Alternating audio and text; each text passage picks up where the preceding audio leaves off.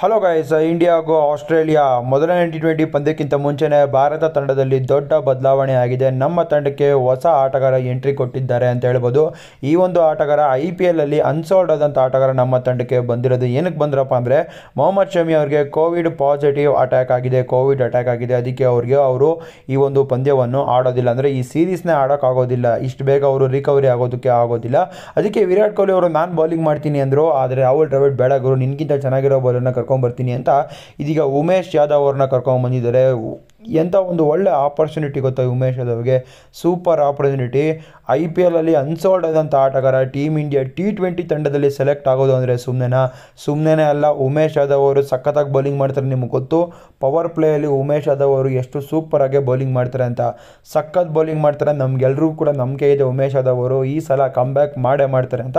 ಸುಮಾರು ಜನ ಬೌಲರ್ಸ್ಗೆ ಆಪರ್ಚುನಿಟಿ ಕೊಡ್ಬೋದಾಗಿತ್ತು. ಮೊಹಸಿನ್ ಖಾನ್ ಆಗಿರ್ಬೋದು, ಮೊಹಮ್ಮದ್ ಸಿರಾಜ್ ಆಗಿರ್ಬೋದು. ಎಷ್ಟೊಂದು ಜನಕ್ಕೆ ಆಪರ್ಚುನಿಟಿ ಕೊಡ್ಬೋದಾಗಿತ್ತು, ಆದರೆ ಉಮೇಶ್ ಯಾದವ್ಗೆ ಆಪರ್ಚುನಿಟಿ ಕೊಟ್ಟಿದ್ದಾರೆ. ರೀಪ್ಲೇಸ್ಮೆಂಟ್ ಮುಖಾಂತರ ಮೊಹಮ್ಮದ್ ಶಮಿಗೆ. ಮೊಹಮ್ಮದ್ ಸಿರಾಜ್ ಅವರು ಸೂಪರ್ ಆದಂಥ ಬೌಲರು ಅಲ್ಲೆಲ್ಲ ಚೆನ್ನಾಗಿ ಪರ್ಫಾರ್ಮೆನ್ಸ್ ಮಾಡ್ತಿದ್ದಾರೆ. ಆಸ್ಟ್ರೇಲಿಯಾ ವಿರುದ್ಧ ಕೊಡ್ಬೋದಾಗಿತ್ತು ನಮ್ಮ ಆರ್ ಸಿ ಬಿ ಆಟಗಾರನಿಗೆ ಆದರೆ ಅಲ್ಲಿ ಒಂದು ಮೋಸ ಆಗಿದೆ ಅಂತ ಹೇಳ್ಬೋದು. ಅದು ಉಮೇಶ್ ಯಾದವ್ ಅವರಿಗೆ ಕೊಟ್ಟಿದ್ದಾರೆ. ಉಮೇಶ್ ಯಾದವ್ ವೇಗಿ ಸೂಪರಾಗಿ ಬೌಲಿಂಗ್ ಮಾಡ್ತಾರೆ. ಅವರು ಪವರ್ ಪ್ಲೇಯಲ್ಲಿ ಬೌಲಿಂಗ್ ಮಾಡಿ ಮುಗಿಸ್ತಾರೆ. ಬ್ಯಾಟಿಂಗ್ ಕೂಡ ಆಡ್ತಾರೆ. ಒಂದೆರಡು ಸಿಕ್ಸ್ ಕೂಡ ಹೊಡಿತಾರೆ. ಮೊಹಮ್ಮದ್ ಸಿರಾಜ್ ಅವರಿಲ್ಲ. ಇದೀಗ ಮೊಹಮ್ಮದ್ ಶಮಿ ಎಂಟ್ರಿ ಕೊಟ್ಟಿಲ್ಲ. ಇದೀಗ ಉಮೇಶ್ ಯಾದವ್ ಬಂದಿದ್ದಾರೆ.